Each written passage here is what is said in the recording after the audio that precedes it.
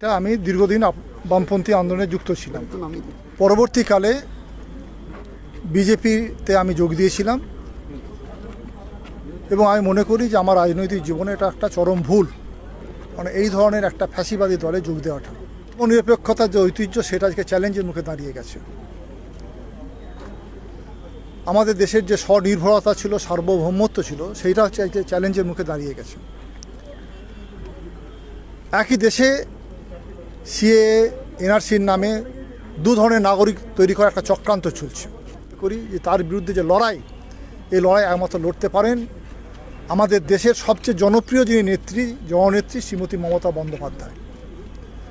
তিনি ডাকে দিয়েছেন, তার আহ্বানে সাড়া দিয়ে আমি আজকে তৃণমূল কংগ্রেসে সত্তর সাল থেকে ছাত্র ফেডারেশন করেছি।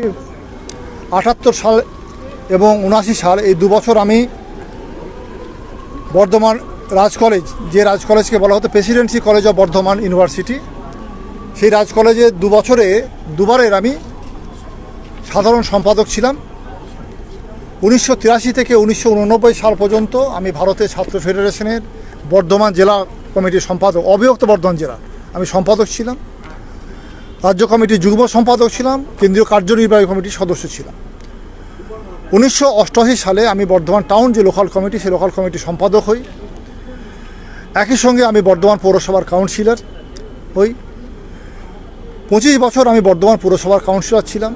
আমি দুটো টার্ম ভাইস চেয়ারম্যান এবং যেটা হচ্ছে বর্ধমান পৌরসভার ক্ষেত্রে সেটা একটা একটা ইতিহাস এবং আমি একটা টার্ম হচ্ছে আমি বর্ধমান পৌরসভার চেয়ারম্যান ছিলাম।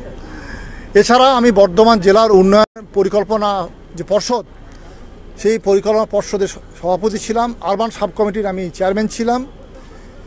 এছাড়া হচ্ছে বর্ধমান জেলা এবং বর্ধমানের বিভিন্ন জায়গার বিভিন্ন মানে গুরুত্বপূর্ণ সংগঠনের সঙ্গে আমি যুক্ত।